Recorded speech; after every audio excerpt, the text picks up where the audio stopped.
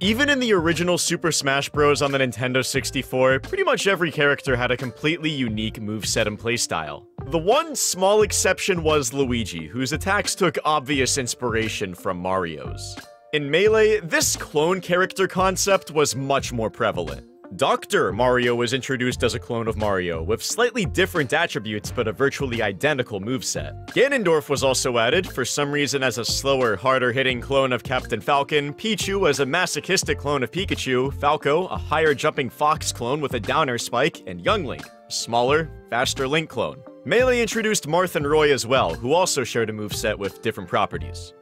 In Brawl, some characters were decloned, making new and unique changes to Falco and Ganondorf, and they also removed many clones altogether, cutting Pichu, Roy, Dr. Mario, and replacing Young Link with Toon Link. Toon Link is still basically a Link clone, but he has more original moves and is much floatier. Despite clear efforts to remove clones, Brawl did add Wolf and Lucas, who share similar special moves with Fox and Ness respectively. Smash 4 clearly abandoned this aversion to clones, as they introduced Lucina, who has Marth's exact moveset and physics with different hitboxes, added Dark Pit, who has minimal differences from Pit, besides for his edginess, and brought back Roy and Dr. Mario. Smash Ultimate has taken a smart and fresh approach to clone characters. They've addressed the elephant in the room and now specifically categorize clone characters as echo fighters of their clone. Since many fans have been disappointed when new characters are added that wind up being clones, categorizing them differently makes the idea of getting more clone characters actually a bit exciting. And knowing this, Ultimate introduced many Echo Fighters after first reclassifying Lucina and Dark Pit under this category. The new Echo Fighters introduced so far are Daisy, who plays exactly like Peach, Dark Samus, who's basically Samus with different animations, Chrom, who is a Lucinified Roy, Ken, a faster Ryu with a few unique moves, and Richter, a clone of newcomer Simon.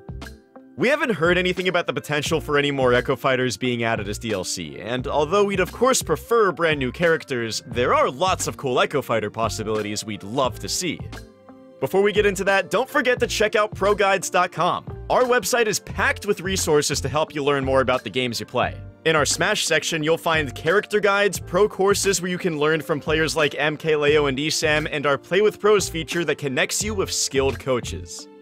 So there's no official definition of what requirements must be met to fit the Echo Fighter description, which leaves many possibilities open. In cases like Peach and Daisy, an Echo Fighter is basically an alternate costume with different voice sounds and non-essential animations, but Alph isn't an Echo Fighter of Olimar, he's just a costume.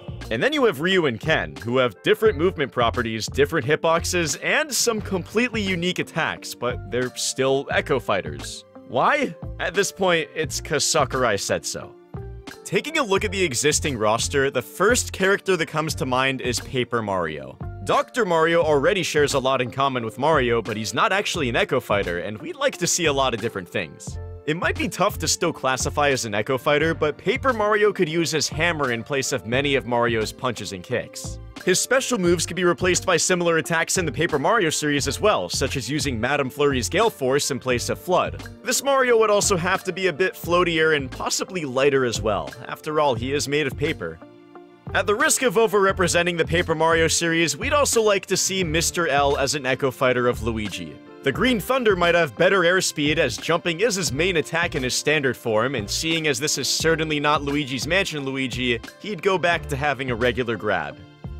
Heads up if you haven't played Skyward Sword, this next one is that game's final boss. Having at least a Demise skin for Ganondorf sounds like a missed opportunity. As an Echo Fighter, Demise could have lightning properties on his sword attacks, and speaking of which, he could use his sword for his entire moveset. You know, like Ganondorf should have the whole time.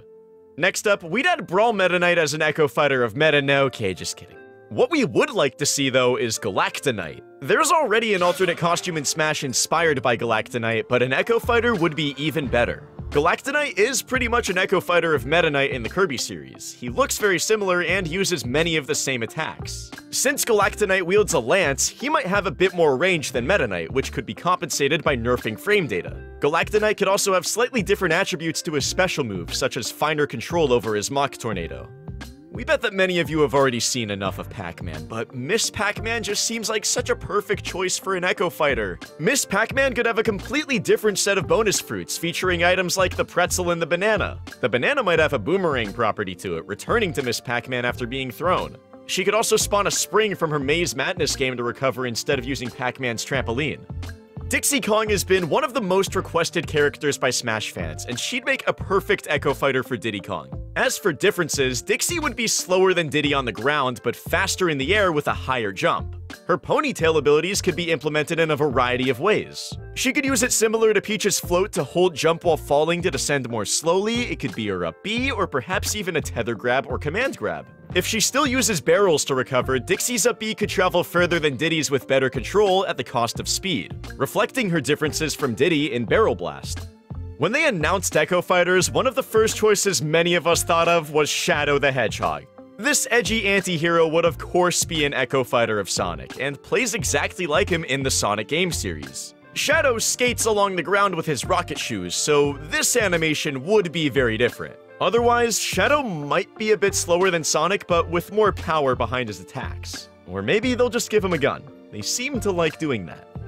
There are quite a few routes that could be taken for a Mega Man Echo Fighter, but we think Proto Man would be a great choice. Proto Man uses an iconic shield to deflect attacks, and this could function as a passive defensive option against projectiles like Link's Hylian shield. Otherwise, Proto Man will play the same as Mega Man, perhaps featuring different special moves to include weapons from the series that Mega Man doesn't use in Smash.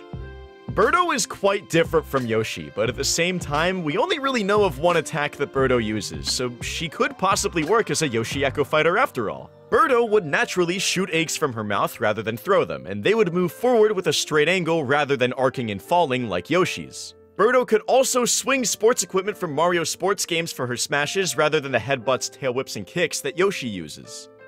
Cloud Strife is a fan favorite character in Smash, and Zack Fair would make a perfect Echo Fighter for him. Zack wielded the Buster Sword before eventually giving it to Cloud, and he can use limit break abilities as well. Different movement physics or hitboxes could be implemented to differentiate the two, but having Zack as a pure copy of Cloud would be enough to make most Final Fantasy fans happy.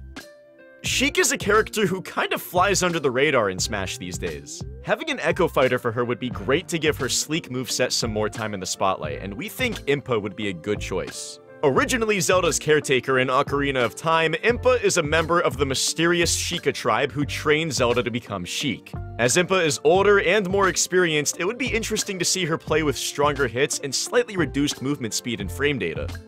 While we're on the subject of more Zelda Echo Fighters, Dark Link is already a costume for every Link in Smash Ultimate, but he appears as an enemy or boss in many Zelda games. This one is kinda like an Alpha example. Since Dark Link only uses Link's own attacks already, he doesn't really need to be more than a costume. However, it might be a neat twist to include Dark Link as an Echo Fighter featuring Link's melee moveset as Dark Link first appeared in Ocarina of Time. This wouldn't be too different, just using regular bombs instead of remote bombs and returning the hookshot as his grab and zair. As the genetic foundation upon which Solid Snake was born, Big Boss from the Metal Gear series would make a fitting Echo Fighter for Snake. It's hard to imagine the Snake moveset playing much differently, but he could have slight knockback differences, making up tilt more of a combo tool or having grenades launch opponents more horizontally.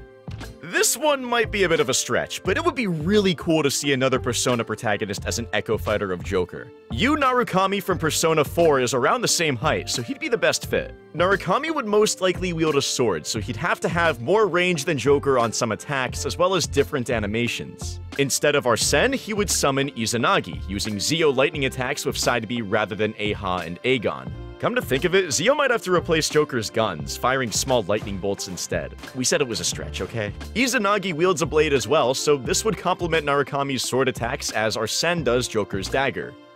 Blood Falcon is another character whom homage is paid to in the form of an alternate costume, this one being Captain Falcon's Red Alt. In the F-Zero universe, Blood Falcon is actually a clone of Captain Falcon, so he'd make perfect sense as an Echo Fighter. Blood Falcon could have lots of flashy aesthetic differences, such as red flames on Falcon Punch and Kick. Any additional reason to play the Falcon moveset sounds like a good idea to us.